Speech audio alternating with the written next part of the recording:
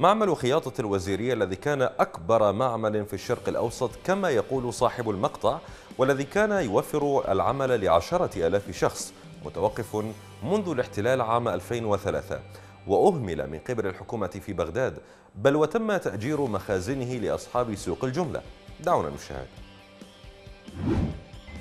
السلام عليكم.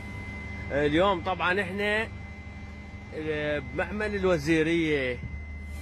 تم لا تتعجبون. شوفوا هذا المعمل اللي هو أكبر معمل بالشرق الأوسط. اللي كان أكثر من عشرة آلاف عامل يشتغلون به. هاي مدينة كاملة يعني مال معمل خياطة. زين. هسه حاليا كل الدولة سوتها عبارة عن مخازن وأجرتها الأهل الجملة. يعني بسأل بسأل. هذا المعمل. ولو هسه مدينة كاملة ما نقدر نفتر به يعني ما يخلونا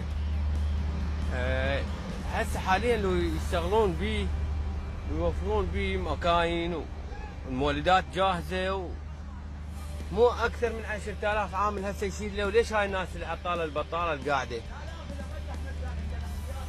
زين؟ هاك شوف معمل يعني ضخم ضخم بشكل مو طبيعي. هاي بعد يعني اذا أريد افتر يفتر بالنص ساعة بي. ليش يعني؟ هسه ذا شغلة و... وهاي الناس القاعدة والموظفين وهاي أصحاب الشهادات.